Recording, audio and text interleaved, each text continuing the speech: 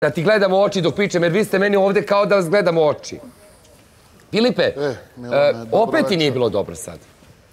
Pa da, malo sam sad e, više, da, što je ona rekla, više fokusiran sam na, na, na to što mi je rečeno, nego, nego u onom momentu onako svega toga. Da, da li od euforije, da li od tog trenutka, d- lakše mi je ovako. Vidi, e, moja rođena sestra ima samo mene, samo jednog rođenog brata.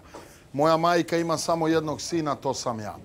E, od njih dve mene vole najviše na, svijetu. E, prošle su sa mnom jako, jako ovaj, i teš, teško je bilo mojoj sestri e, i teško je bilo mojoj majici u mom odrastanju, u mom djetinstvu. Ja sam uvijek bio i kroz školu i ko, ko mlad momak, adolescent i sad kao momak, ajmo reći, bio sam dosta, dosta težak, dosta, dosta problematičan, dosta, ali e, uvijek sam bio tu nekako u porodici najomiljeniji i volili su me stvarno i u gradu i sad glupo svako će reći u gradu ga i u selu vole i u komšiluku. Bio sam uvijek voljen i u porodici i u svom gradu i imao sam puno prijatelja, imam, hvala Bogu, i dan danas i porodicu i prijatelji i sve to.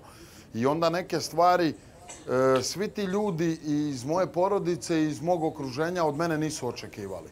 Ono što su vidjeli i prošle godine i ovo što su vidjeli ove godine. Jednostavno nisam takav momak kao što sam neke stvari koje sam ovdje radio e, mogu čak reći da nisam i na polju radio. Preko nekih stvari nisam prelazio, u neke veze nisam ulazio, neke stvari ja, neke riječi nisam izgovarao, nikad u svom životu.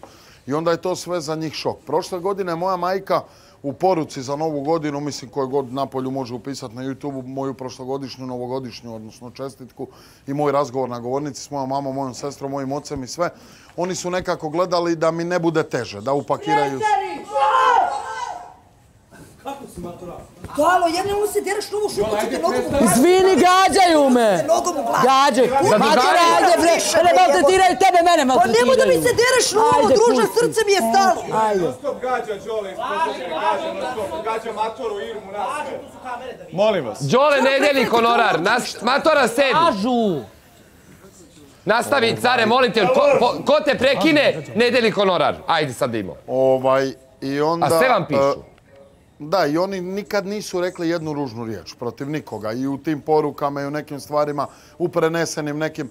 Moja majka i kad sam ja izašao napolje, e, e, za nijednu djevojku, pazi, meni su se događale ovdje dosta, dosta ružne stvari sa, sa, od strana tih djevojaka. One su pominjane, kao moja obitelj, e, meni je garderoba uništavana, mene se ga- ja sam gađan kamenjem u zube, udaran šakama i ne znam šta uvijek je nekako gledala da krene od mene. Da je to moj odabir, da sam ja isto psovo, da sam ja neke stvari, da e, jednostavno dosta su, dosta su drugačiji od onoga što sam ja i od onoga što s kakvima sam ja ljudima, čast izuzecima što mi kažemo ovdje, ali s kakvima sam ja okružen.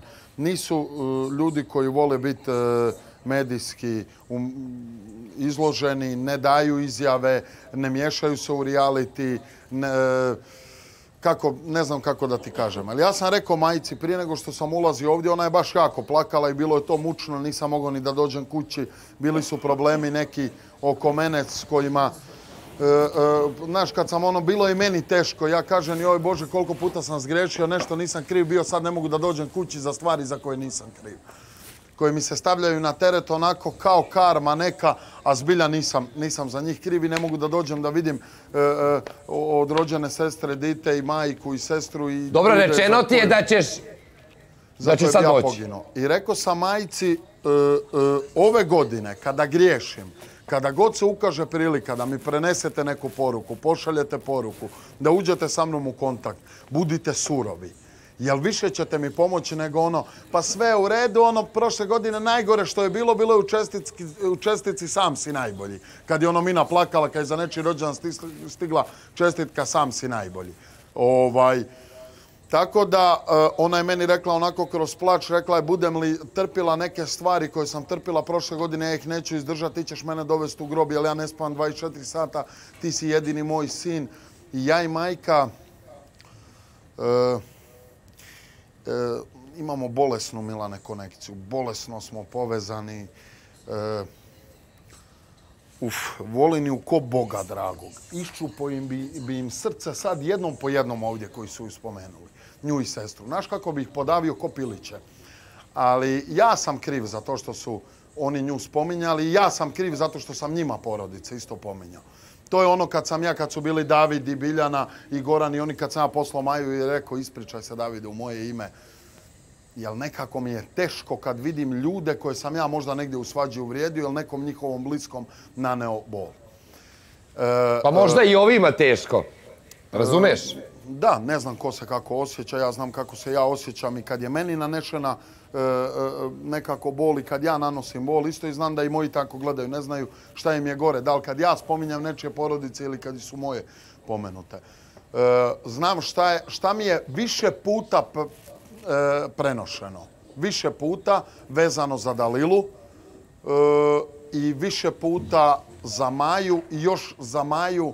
Ne, bilo je i za Dalilu onako jako, ali za Maju možda i na ekstremniji način da se, da se maknem iz tog odnosa, jer ja znam kako su oni na to gledali. Da li će ona meni oko iskopati ili ću ja udarit nju?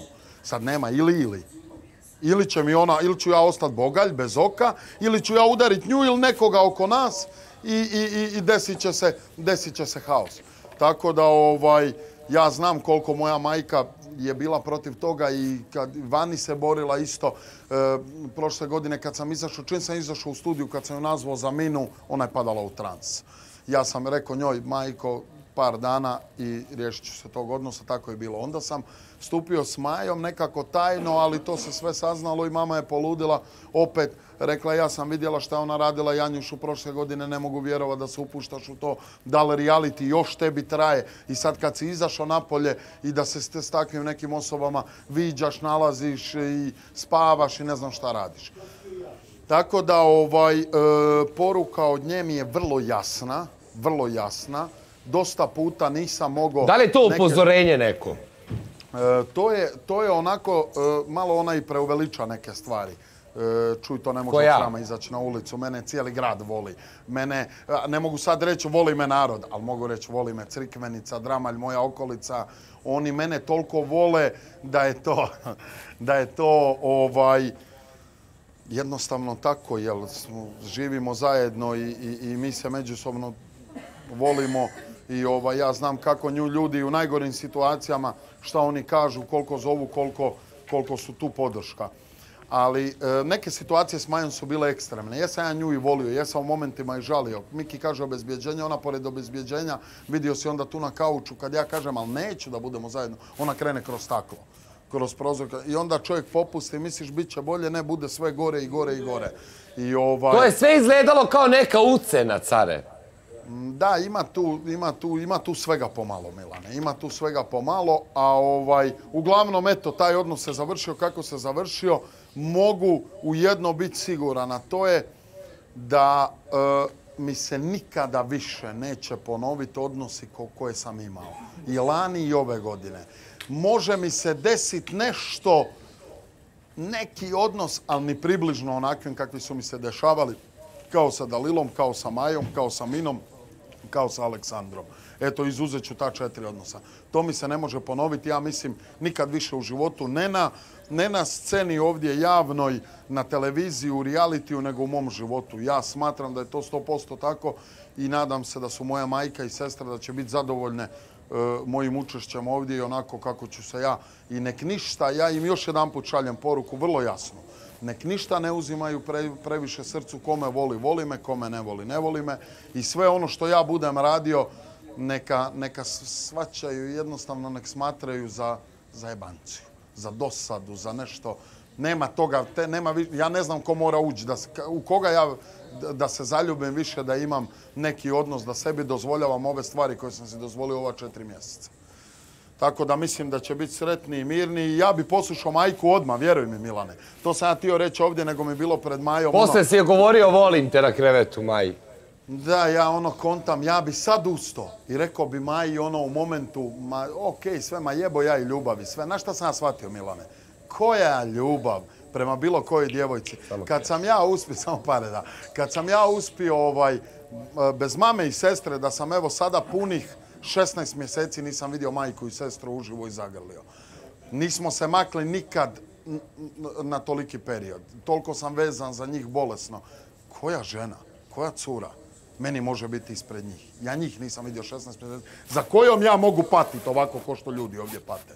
Ko kakva ona mora biti da ja za njom patim i da ja ne mogu da, da- da ne budem u tom odnosu. Tako da one su sve plitak potok za ono što ja kući imam i što kući pati zbog njih i mene kakav sam uz njih. Tako da, eto, mislim da sam ti najbolje moguće odgovorio i tebi i njima i onima koji slušaju i ovima koji side ovdje. Hvala da- ti, care. Hvala. Ajde da vidimo sljedeći videoklip.